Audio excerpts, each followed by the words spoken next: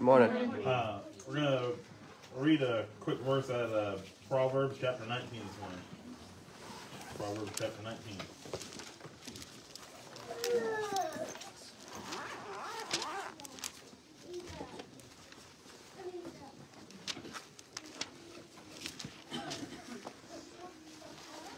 You know, I uh, got really excited.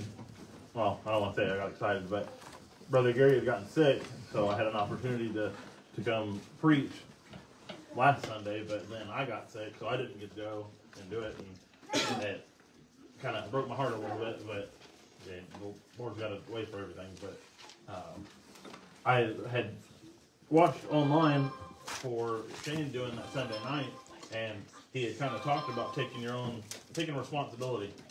Like everybody needs to take responsibility, and then I had uh, I had wrote this down before I had watched it, so the Lord just kind of worked his way through that. But uh, I'll read uh, Proverbs 19, verse 3, real quick. The foolishness of man perverteth his way, and his heart fretteth against the Lord. And it just kind of, that kind of popped out to me that, you know, we do most certainly have to take responsibility for our own actions.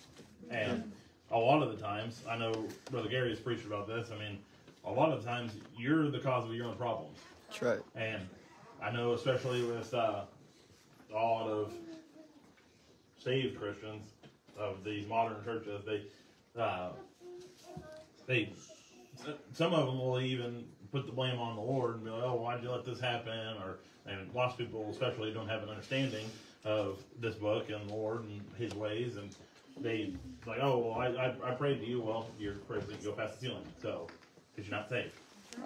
But a lot of them will try to just put that blame on the Lord when it had nothing to do with Him. It was you and your own foolish ways, your own stupidity, and you know the the choices the man uh, a man or woman makes will lead them either to heaven or hell. And you know, I I can't eat a week old McDouble from McDonald's and expect to be fine. I mean, it's not going to sit well with my stomach. I'm probably going to go to the hospital. I mean, you're sometimes you cause your own problems. I mean, That's right. like, oh, I can't eat it. Be like, oh Lord, why'd you do this to me? Oh, I'm dying. Like, no, stupid, you did it to yourself. Right. But it, like, if I choose to study before I get behind this pulpit, I will either reap the what I sow from that, or if I get up here and I haven't studied at all, then oh well, I ain't got nothing. So go ahead and call Jeremy up here, I guess. But you, you you're gonna you have to take responsibility for your actions. And like another one is if I choose to live my life separate from the Lord and I end up dying, guess where you're going? Hell. Exactly. And it's not the Lord's fault. He sits there and he's like, "Hey, come here. I want, just let me let me let me sit with you a minute. Let me talk to you."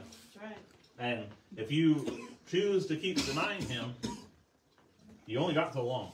That's right. And it's if you don't, like I said, he's constantly begging you and telling you to come here. That's what the Sunday, the Sunday night, the nursing home. I mean, I have no doubt the Lord can save somebody at the nursing home. Amen. And but if you choose to live your life separate from the Lord, you're gonna take responsibility for your actions. There's That's right. consequences, Preach it. and that that's something that uh, this world really needs to get in their head. I mean, even even El- else was. I mean, I got something from your testimony on Saturday. I mean, you. A lot of people got these blinders on because they want to focus on the the thing that the Christian did, but not take responsibility for their own actions. Right. Right.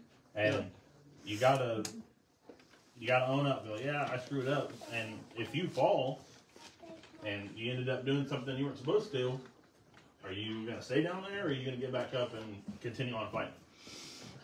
Um, but if you don't accept that gift of salvation, that consequence is the lake of fire. Yep. It's not just separation from the Lord, you know. It's you just over here. You didn't. You chose to live. I know. I talked with Brother Shane about this guy that I'd seen before that he believes that hell is just separation from the Lord. It's not a literal lake of fire. Well, that doesn't that doesn't go along with this book. I'll tell you that. Yep. It says there'll be wailing and gnashing of teeth. That's not, that's torment. That's pain. Amen. That is a lake of fire.